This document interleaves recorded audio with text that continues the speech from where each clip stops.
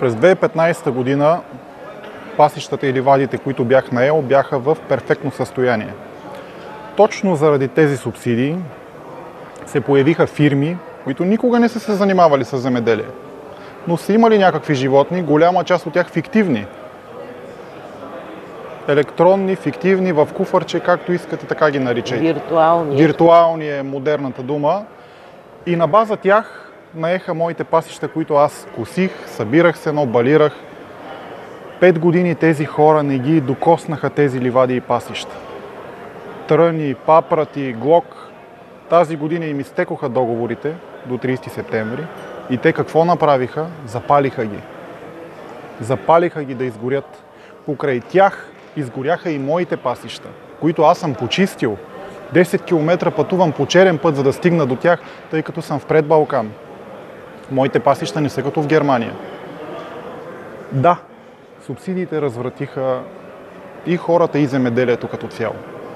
Надявам се повече такива хора да не влязат в а, сектора или да бъдат все по-малко.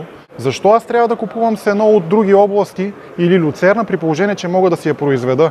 Еми точно пред животновъдния ми обект, точно пред моя животновъден обект се намира нива, която 2020 година е наета от подобно лице, което лице я засипа с камъни, не я използва според предназначението, за което му е дадена. Това е нива, той трябва да я обработва, да добива фураж. Ами аз съм ощетен в случая, аз се нуждая от този фураж за животните ми. Животните ми не могат да излязат. Не могат да излязат, защото трябва да минат през нея. Разбирате ли за какво говорим?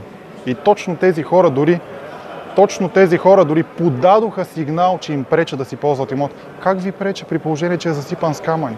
Как?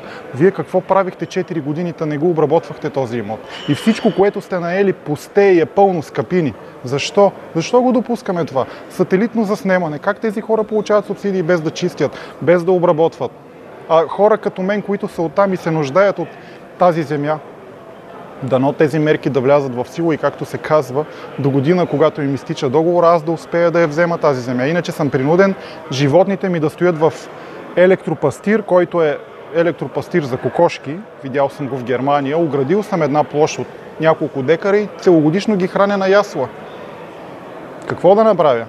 Нямате избор. Нямам избор, принуден съм. И вместо да изконсумират 5000 бали, те ще ми изконсумират 10 000, защото това е цикъл от 1 май до 1 май на следващата година. И овощните ми градини в момента излизат на търгове и съм много притеснен. Наистина съм притеснен, тъй като съм инвестирал.